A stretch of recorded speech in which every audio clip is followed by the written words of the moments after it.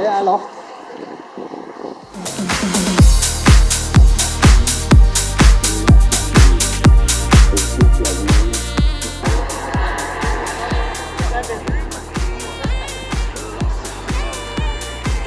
Høyre.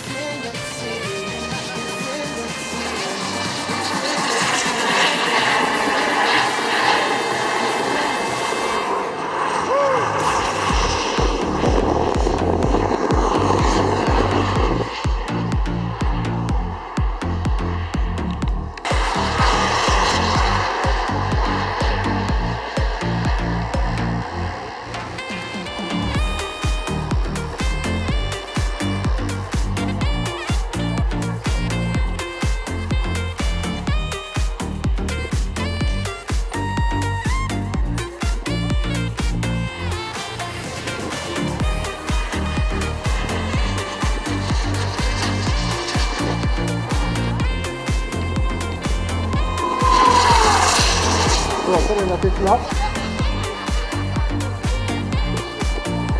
24.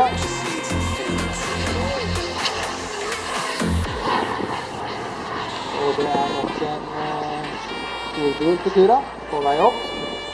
Klar for takeoff.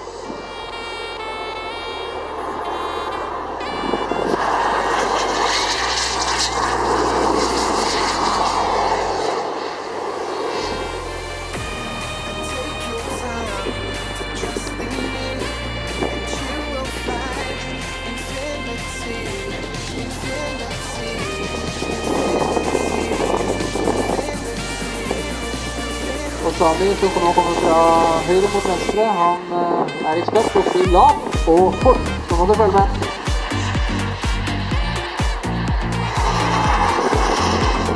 Ja, det er lavt.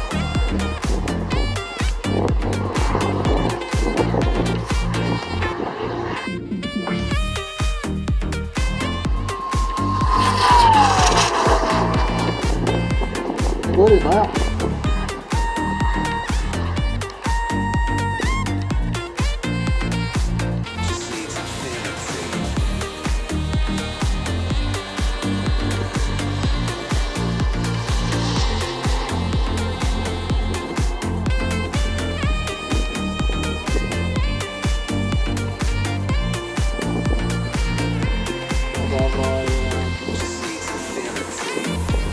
Bakken.